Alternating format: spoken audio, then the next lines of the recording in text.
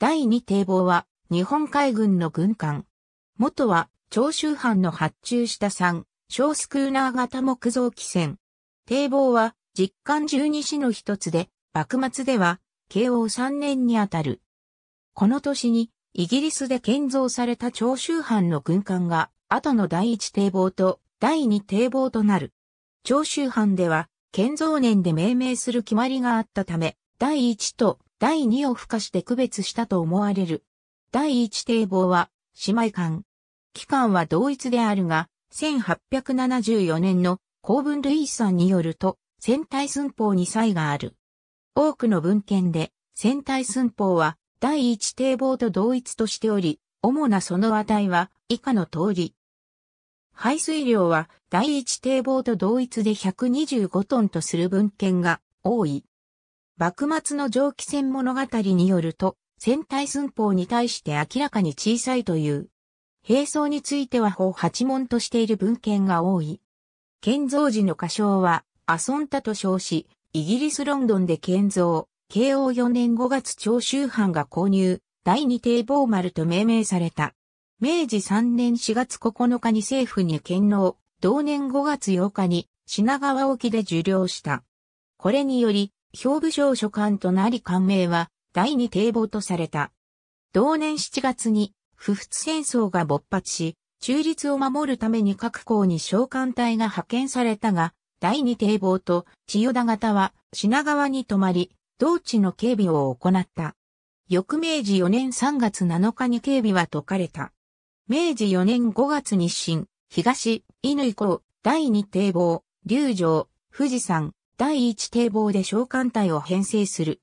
牧長吉中佐が日清、鋼鉄、犬港、第二堤防の四艦の指揮を取った。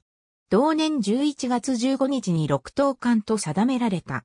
明治5年2月から翌年1月まで測量任務に従事している。3月10日、第二堤防は測量艦に指定された。4月14日、再開巡航のために第二堤防へ測量と開港が命令され、24日、品川を出港した。明治5年5月18日時点で中間隊は、日清、猛春、龍城、第一堤防、第二堤防、運用、春日、筑波、宝生の旧跡で編成していた。7月1日、第二堤防は巡航の警備から除かれ、長崎に滞在し、再開の測量を命ぜられた。1873年1月12日、第二堤防は測量艦を止め、艦隊に編入された。3月7日、第二堤防は艦隊から除かれ、主戦領所轄となり、以後修理が行われた。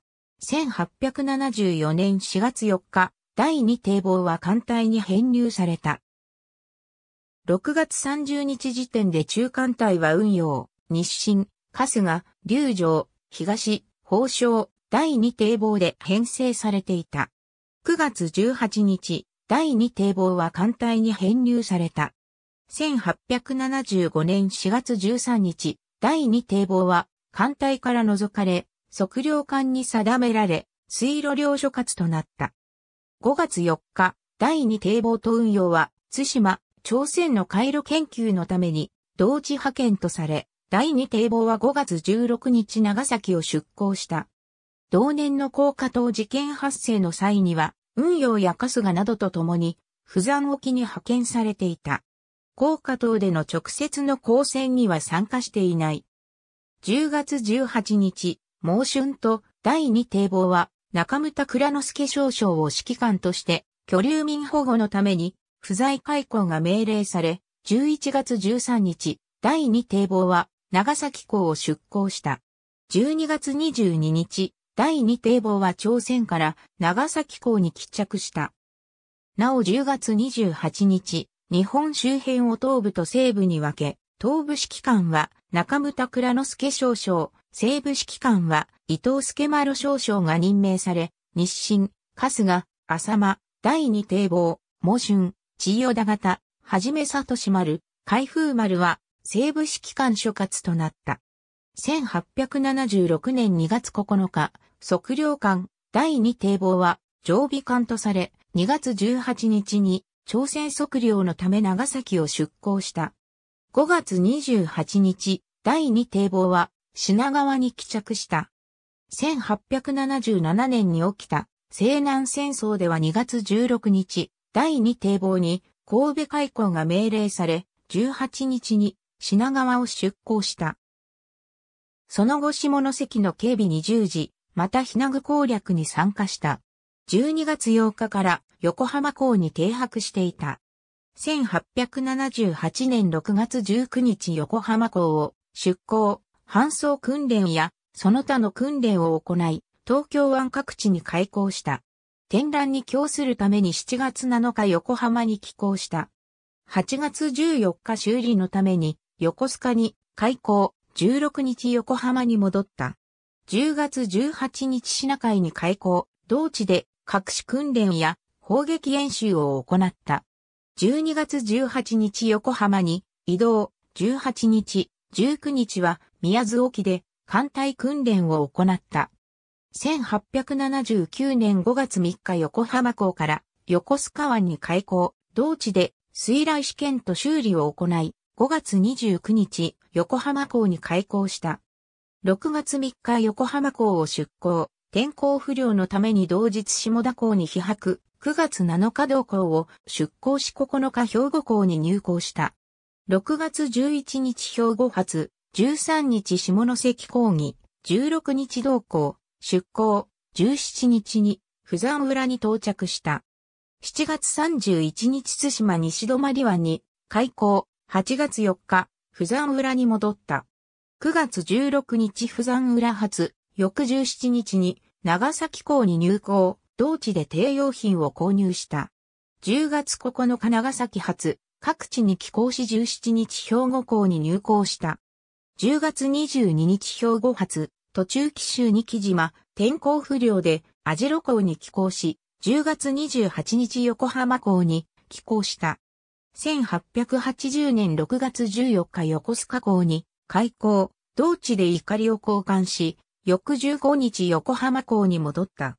6月16日横浜発、古清照艦長曹操があり、同艦乗員を運送のために、横須賀により、同日品川に到着した。6月18日品川発、横浜に戻った。10月12日に横浜を出港、横須賀港に開港士官の点検を行った。10月15日横浜に開港。その後搬送訓練のために横浜を出港し、10月18日裏書き、翌19日立山湾に開港した。10月27日立山湾を出港、同日下田港に入港、11月5日下田から網代に開港、その後真鶴島へ向かい、横浜に寄港した。1881年3月28日から4月6日まで横須賀造船所で修理を行った。4月18日横浜港を出港し、搬送で観音崎沖まで構想指導地で時差修正、同日立山湾に入港した。5月16日立山湾を出港し、横浜港に寄港した。6月29日、修理箇所の検査のため横須賀へ開港。7月22日から1882年4月5日まで横須賀造船所で修理を行った。また1882年9月6日から横須賀造船所で修理を行った。1883年3月2日に修理完成。1883年6月7日浦賀を出港し、中国、九州沿岸に向かった。6月9日兵庫講義、15日小豆島に開港した。16日小豆島発、岡山湾の略測を行い同日小串に到着した。6月27日小串発、尾道、文字、唐津、今里、伝助を経由し、7月10日に大村湾に到着、同地の略測を行った7月17日、大村湾発、都議津、大村、大串、顎の裏、佐世保を経由し、8月2日長期港に入港した。9月5日長崎発、鹿児島、袴越鹿児島、文字、兵庫を経由し、10月10日達江に到着した。四国沿岸航海のために10月14日、達江発、鹿島、須崎、宇和島、佐賀関、三ヶ浜、厳島、広島、小根島、井の浦、小豆島、兵庫、鳥羽を経由して、11月12日品川に帰着した。明治天皇の福岡行幸の護衛艦として、横須賀港から神戸港に開港中、1885年4月3日に三重県あのり崎で座礁、破壊された。日本海軍史第9巻、第10巻の召喚履歴及び官報に基づく。ありがとうございます。